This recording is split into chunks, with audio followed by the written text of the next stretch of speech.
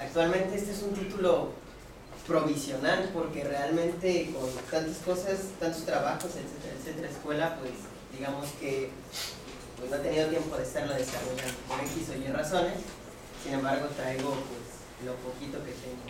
Eh, yo creo que es muy importante, realmente no tengo una exposición tan larga, pero me gustaría que pues se quedaran con lo que con, las ideas que yo tengo o con lo que quiero con lo que quiero exponerles.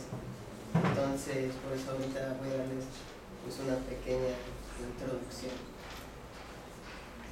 Bueno, el problema de investigación. El trabajo que estoy realizando es un análisis de cómo la mayoría de las personas en la ciudad han logrado una gran aceptación hacia los distintos dispositivos y aplicaciones que se les considera como ociosos. Yo estoy eh, personalmente hablando sobre el ocio dentro de la perspectiva digital o virtual, como le dicen algunos. Eh, el ocio es algo muy importante que se tiene que describir y observar para mí desde una perspectiva pues crítica o objetiva, etcétera, etcétera, que pueda descifrar o denotar las características que el mismo ocio posee. Eh, es decir, el ocio no solamente se limita a la improductividad del tiempo libre, como lo puse aquí, como, lo profesa el pensamiento clásico, capitalista, neoliberal, etcétera, etcétera, en el que se dice que el tiempo es oro. Realmente eh, autores eh, dicen que el ocio es aquel tiempo en el que no se está produciendo algo, en el que no se está siendo productivo al, en que no se está sí, siendo productivo al sistema, en el que no se produce nada. Eh, ese es el tiempo de ocio. Sin embargo, otras personas pues dicen que a pesar de que puede considerarse como improductivo, realmente no lo es. Puede tener algunas características buenas y Eh, sobre el análisis del ocio se ha escrito sobre él desde hace ya mucho tiempo, principalmente en los años 60, que es cuando hablan mucho sobre, sobre el ocio, distintos autores, principalmente lo hablan desde la pedagogía y desde la psicología.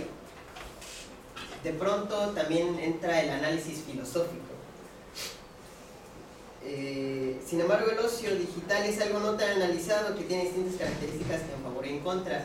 Es, es algo muy, muy reciente en el sentido de que pues ah, se ha, se ha hablado más de este en estos últimos años gracias a, a, que el internet se ha vuelto más, más común y a, que, a la facilidad que nosotros tenemos de adquirir nuestro, de tener conexión a internet en nuestros distintos dispositivos eh, medios digitales, ¿no?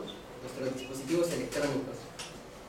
Eh, las características que pueden ir en favor desde, o sea, desde el ocio digital van sobre todo hacia el apartado de la recreatividad, porque hay algunas aplicaciones dentro de nuestros dispositivos, etcétera, etcétera, que pueden considerarse ociosas, sin embargo, eh, hay algunas que tienen que, tienen algo dentro, o sea, eh, son aplicaciones que incluso se les puede considerar como recreativas porque poseen elementos de vanguardia, o sea, es decir, uno puede estar dibujando y realmente puede estar creando obras muy impresionantes desde, desde la computadora, desde etcétera, etcétera, y realmente eso, no te hace productivo, te, te, te no sé si necesitas una mejor persona, no lo creo, pero por lo menos te, te llena más de creatividad,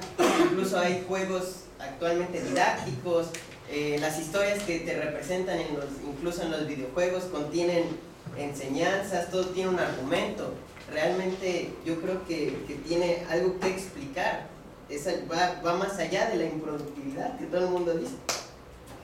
Eh, y en contra, algo que podría tener el ocio digital, puede ser que puede convertirse en una adicción. Eh, y ahí sí, pues afectaría nuestras actividades cotidianas como eh, convivir con la familia, qué sé yo. Se convierte en una ludopatía. Entonces, sí está cañón, en este mismo análisis eh, está presente el fenómeno del ocio en nuestra vida cotidiana. O sea, yo quiero analizar eso porque, porque realmente en nuestra rutina diaria siempre está presente, lo tenemos presente. Eh, la mayoría de las personas en la ciudad, considero yo, tienen por lo menos algún un medio pues electrónico, el cual les proporciona de muchas aplicaciones y servicios que se consideran como productivos, como ya lo mencioné, ociosos, ¿no? Eh, con este trabajo trataré de descifrar cómo es, que, cómo es que se concibe actualmente el ocio digital, el ocio, el tiempo libre que es, eh, yo creo, fundamental dentro de este análisis que estoy haciendo, eh, cómo, es que lo consideran, las aplicaciones, un análisis de las aplicaciones, etcétera, etcétera y sobre todo, pues, mencionar algún apartado que habla sobre las juventudes. Cuando yo estuve haciendo mi, mi primer trabajo de campo, no he hecho el segundo, he hecho el primero normal, eh, en la ciudad de Veracruz, yo fui con la idea de que iba a analizar totalmente así a las juventudes porque creía que las juventudes eran quien, quien estaban al pendiente todo el tiempo. Sin embargo, al estar en distintas plazas comerciales, eh, en la calle, darme cuenta y estar, estando de chismoso, como dicen por ahí, me di cuenta que inclusive, exactamente antropólogo, algunos adultos, pues, no, no, algunos, muchos adultos también están metidos en las distintas redes sociales, están en los, en los medios electrónicos, vaya, la verdad me sorprendí y fue que cambié un poquito mi perspectiva sobre el estudio de las juventudes, así que me gustaría, yo creo también precisar eh, sobre los conceptos que yo tengo de juventud, desarrollarlos un poco más, etcétera, etcétera, para que no se queden meramente en, lo en la percepción que yo tenía antes de ir a mi primer trabajo de campo. Eh, el tema del ocio digital puede ser visto desde América Latina, me, me gustaría, o sea, gustaría pensarlo desde esa perspectiva también. Eh, gracias a que pues, los dispositivos electrónicos en, América Latina y en todos lados, en la mayoría, no en todos, eh, se, han vuelto muy cotidianos y accesibles para todos. Eh, uno ya puede ir por su telefonito ahí al Oxxo, ¿no? De 700 pesos que ya trae Android y ya le puedes descargar. Pues, ya tiene wifi, ¿no? Entonces ya te puedes meter en las redes sociales, etcétera, etcétera. Ya tienes una conexión constante a internet.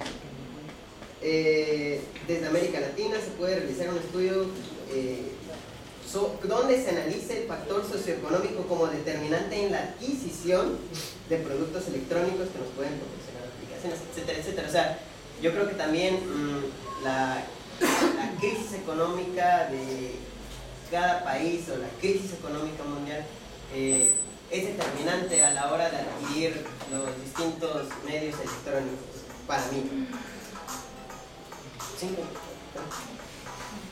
Bueno, sí le puedes. Eh, bueno, la presencia de las TICs. Eh, Manuel Castel nos ha mencionado desde hace mucho que nuestros hábitos y estilos de vida han sido modificados gracias al desarrollo de las nuevas tecnologías de información y comunicación. Eh, gracias a estas innovaciones, en las ciudades podemos encontrar servicios que nos ha proporcionado la tecnología para poder ser productivos en nuestra vida, como el teletrabajo, la educación a domicilio, los sistemas de información, monitoreo, correos electrónicos, etc. Es decir, que actualmente contamos con la tecnología suficiente como para estar hipercomunicados, es un concepto que yo tomo de Paolo Paul, pues como le diría Vililio, Paul Vililio, eh, donde él habla de la hipermodernidad. Entonces, también a través de la hipermodernidad he visto muchas personas que se preguntan qué tan necesario o si es necesario estar hipercomunicados actualmente, ¿no? También me gustaría descifrar eso en mi tesis, o sea, tener un punto de vista en el que yo diga, bueno, ¿es o no es necesario? Si le puedes Ocio y antropología. Eh, el semestre pasado alguien me estuvo diciendo, oye, es que su trabajo como que no está, no está tan antropológico, tienes que darle esa perspectiva. Y yo me quedé, bueno, pues, pues vamos a, voy a para que veas y no te quedes con esa duda. Creo que ahorita no está, pero bueno. Eh, primeramente hay que definir que el ocio forma parte de un análisis antropológico, a pesar de que no haya muchos especialistas en el tema, especialistas antropólogos. Eh, autores como Blanche de Calois mencionan que el hombre desde que nace, algunas de sus primeras manifestaciones son de carácter lúdico, y a partir de ahí es donde podemos encontrar las relaciones entre antropología y ocio, juego y deporte, como, dice un autor que se fue la vida. Eh, es a partir de esto que la antropología es y seguirá siendo una de las ciencias que más aporta al estudio de las actividades, al estudio del análisis de las actividades de rutina, como los, los hábitos, ¿no? Donde se habla sobre las distintas facetas del juego, el ocio, incluso, como lo mencioné anteriormente, el deporte, que también lo consideran. Eh, dentro de la antropología está más que vale hablar sobre el, sobre el comportamiento del hombre y dentro del comportamiento existen rutinas y hábitos que los sujetos van construyendo y reconstruyendo a lo largo de su vida. En la mayoría de las rutinas llegamos a un momento en que por una u otra manera tenemos tiempo libre y este tiempo libre es lo que se ve comentado que es muy importante para mi análisis, es muy importante analizarlo. Si lo puedes ayudar. Eh, bueno, el tiempo libre, ya les, había mencionado de la idea esta, de que, la idea clásica en la que se dice que el tiempo es oro, eh, en, la que no, en la que no se produce, es ocio y simplemente es improductivo, no sirve para nada, etcétera, etcétera. Y pues bueno, muchas personas como Frederick Monet dicen que las personas realmente necesitan de un descanso y aprovechar ese tiempo libre porque realmente la rutina diaria lleva una, lleva una fatiga. Entonces, si no tenemos esto, pues realmente vivimos pues, infelices, ¿no? Eh, bueno, si le puedes cambiar. Y pues, ya por último, pongo lo que viene siendo pues, las perspectivas del ocio, ¿no? Ya entrando en el tema del ocio digital, ciertamente hay pocos interesados en este tema, pero van aportando un giro al análisis de los dispositivos electrónicos, las redes sociales, eh, etcétera, etcétera, en, a un tono más de crítica y descripción de la utilidad que le dan a estos productos electrónicos. Mm, cuando se habla de ocio digital, yo creo que no se habla nada más de los videojuegos o, de las aplicaciones, se habla también, como dice una autora que se llama Ana Viñals, se habla de inclusive de las compras en línea, de la navegación en internet, eh, de los, de lo, del audio streaming, etcétera, etcétera, de muchísimas cosas se habla. Eh, cualquier análisis crítico que se haya hecho sobre el ocio, pues tendría que adaptarlo, o tendría yo que hacer como, adaptarlo a la utilidad a la cual se le han dado estos dispositivos y aplicaciones para que la investigación tenga nuevos aportes nuevos aportes, me gustaría aportar algo, algo novedoso. ¿no? El doctor Manuel Cuenca es uno de los más grandes intelectuales que se han referido a este tema, aportando a las ciencias sociales distintas dimensiones y direccionalidades del ocio. Entonces, nada más para terminar, digo que es algo que estoy pues, siguiéndole, estoy echando ganas. ¿no? No le gusta, pero no le gusta que le he hecho ganas, pero la verdad que estoy avanzando. What do you want?